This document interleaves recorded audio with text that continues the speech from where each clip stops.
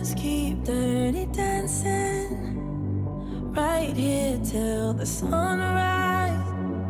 Are we everlasting or is it the last? Is it the last?